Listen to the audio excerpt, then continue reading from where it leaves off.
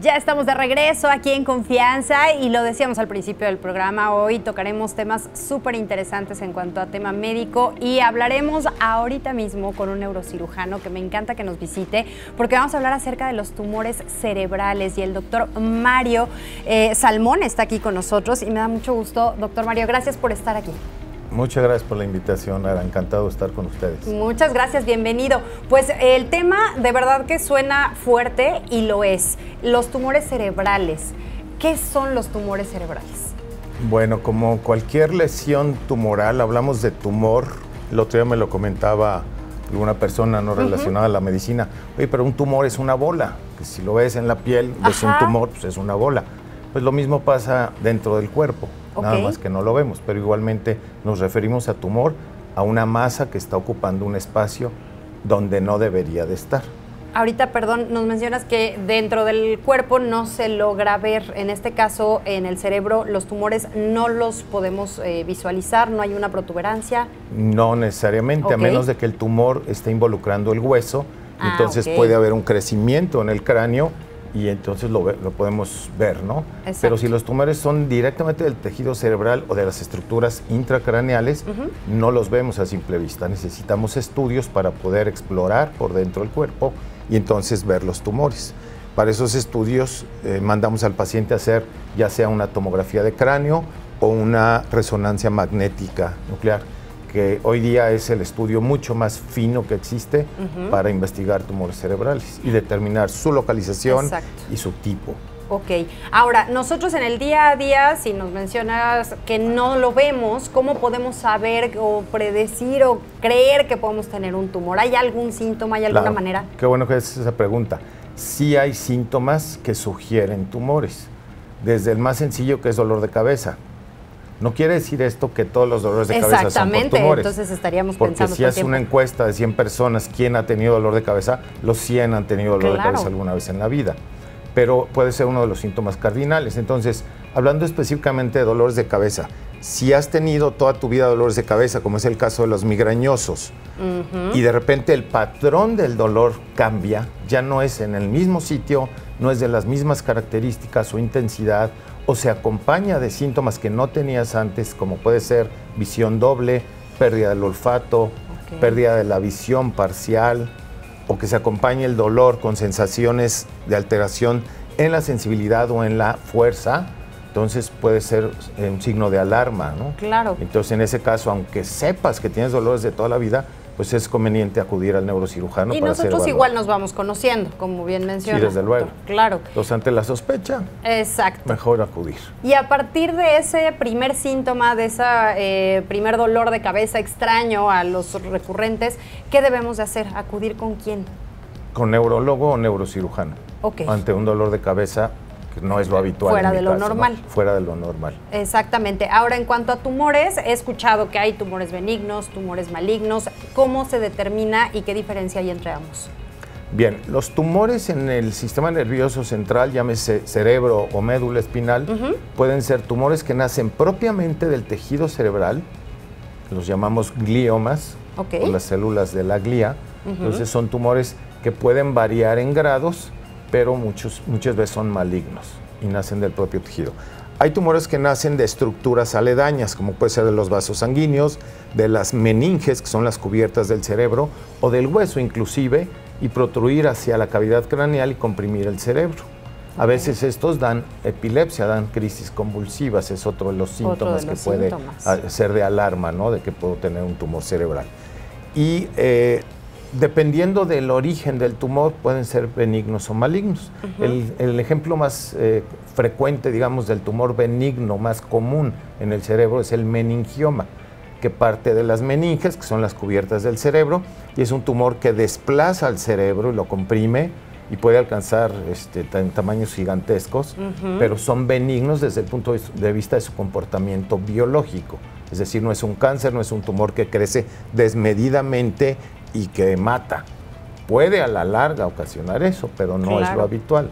Pero al tener cierto volumen dentro de este mismo espacio del cerebro, supongo que debe de tener repercusiones. Desde luego, porque nuestro cráneo es una cavidad rígida y cerrada.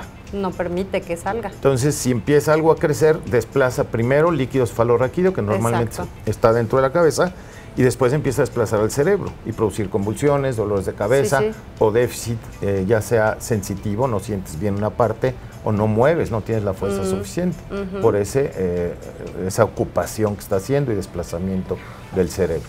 Y los tumores malignos, habitualmente del tejido cerebral propiamente, que se llaman gliomas, hay cuatro grados, el 1 y 2 son menos malos, vamos a decir, Ajá. y el peor de todos es el grado 4, que se llama glioblastoma multiforme, que es sumamente agresivo.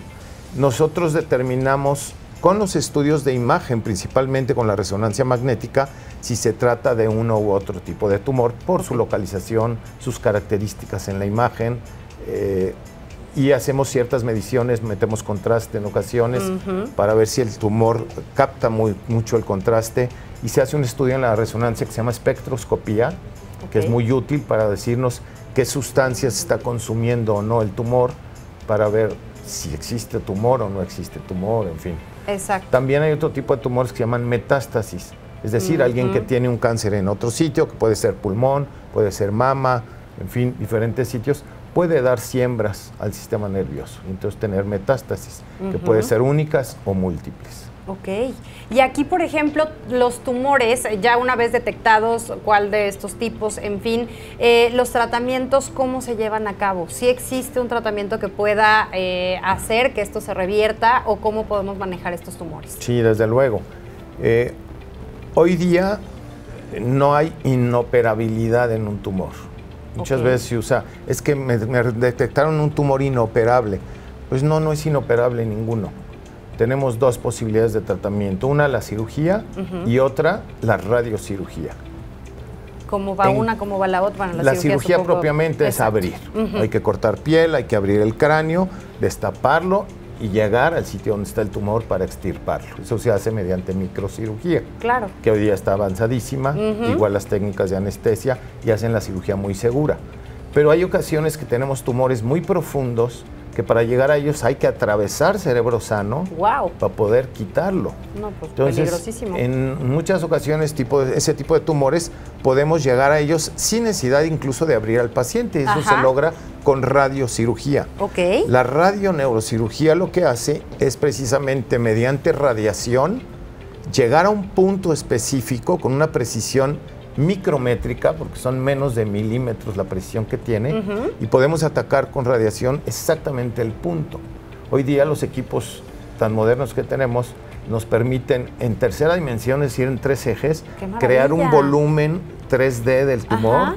y poderlo atacar con rayos específicamente, Wow. solamente al tumor la mayor dosis de radiación, Sí, sí. de manera que todo el tejido aledaño recibe una dosis muy bajita de radiación. Entonces no se lastima.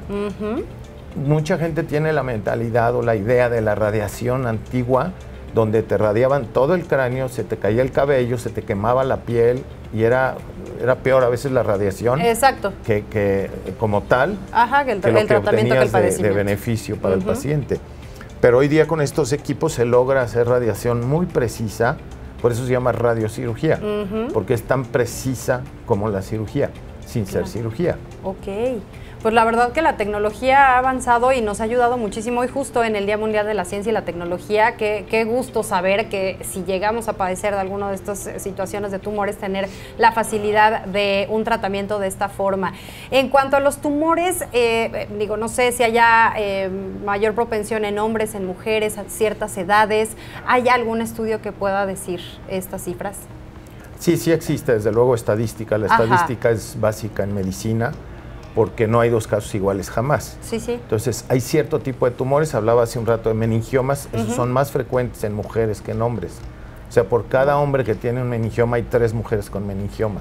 Wow. Entonces ese sí es más Sí. frecuente en mujeres. Además el meningioma específicamente se ha visto que hay tumores que son sensibles a las hormonas femeninas y eso las hace crecer más. Entonces, si tiene un meningioma una paciente y está tomando hormonales orales, por ejemplo, pues hay que suspenderlos porque propicia, puede ser un tumor que se propicia el crecimiento de este.